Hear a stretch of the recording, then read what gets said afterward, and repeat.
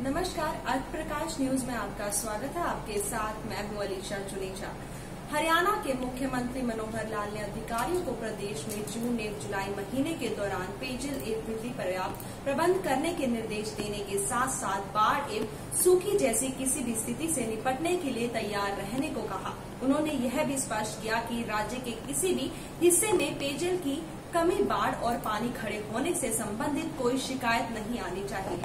आज के लिए इतना ही। देश और दुनिया की तमाम खबरों के लिए देखते रहें अर्थ प्रकाश न्यूज़। ताज़ा अपडेट्स के लिए अर्थ प्रकाश टीवी को सब्सक्राइब करें और बेल आइकन को प्रेस करें।